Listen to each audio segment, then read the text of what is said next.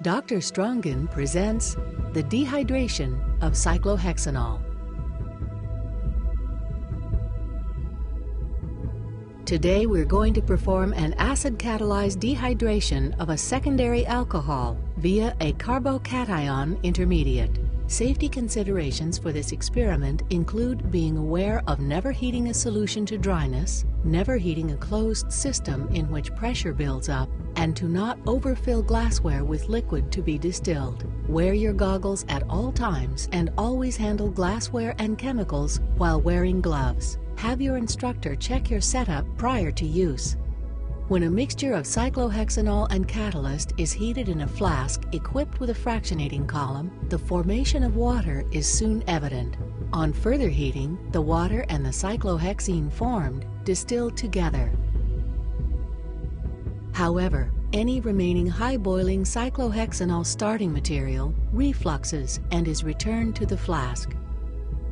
After dehydration is complete and the bulk of the product has distilled, the column remains saturated with water cyclohexene that merely refluxes and does not distill. Hence, for recovery of otherwise lost reaction product that does not distill, a chaser solvent is added and distillation is continued. A suitable chaser solvent is water immiscible technical grade xylene with a boiling point of about 140 degrees centigrade.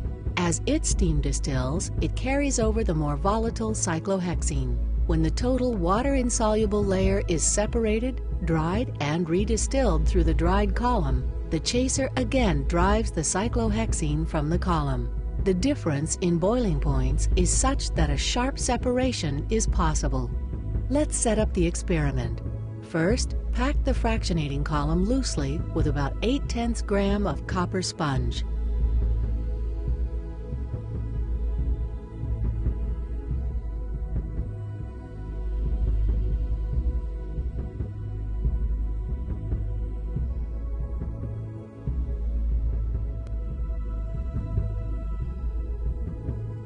Insert the thermometer carefully into the three-way connector fitted with a cap. Grasp, twist, and gently push. If it does not go through the opening easily, moisten the glass. Push an O-ring up on the other side of the thermometer.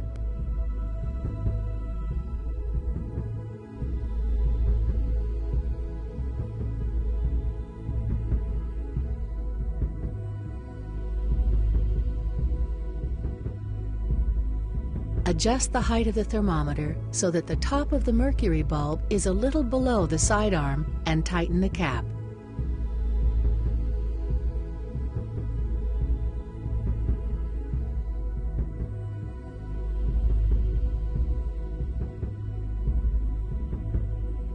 Attach the connectors to both ends of the fractionating column.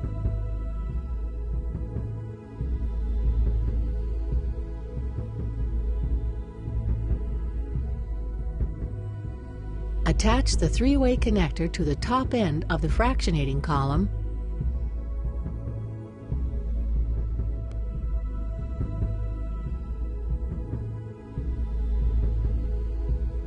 and at the bottom attach the microvial.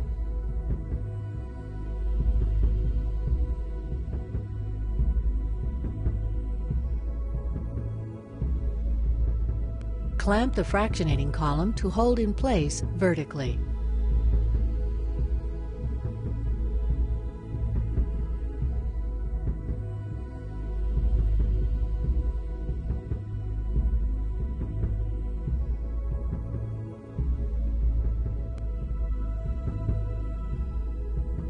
On the side arm of the three-way connector, attach a water-cooled condenser which leads to the receiver.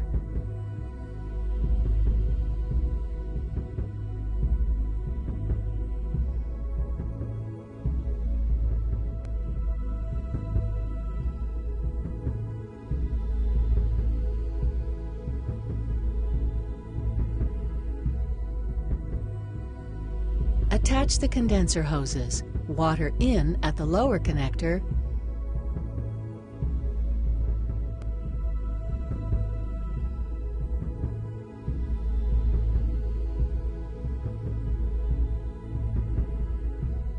out at the top.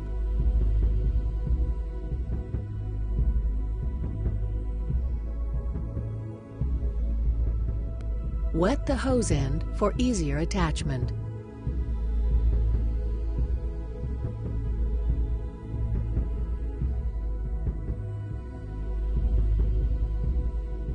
Adjust the water flow by picking up the outlet hose and turning on the water until you see a gentle, steady stream from the hose.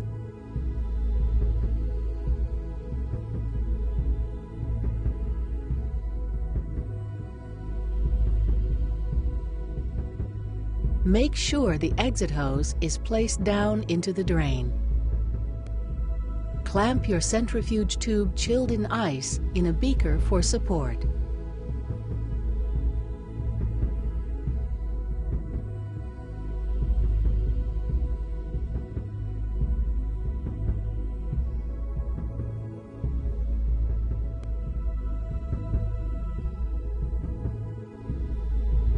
Use cotton pads to insulate the exposed glass between the top of the column packing up to and including the area around the side arm.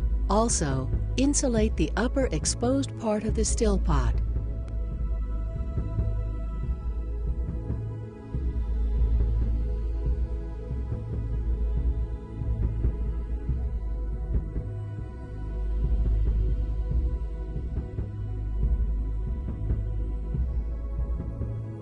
Where it connects to the fractionating column. Keep the cotton pads out of the space between the pot and the heating surface.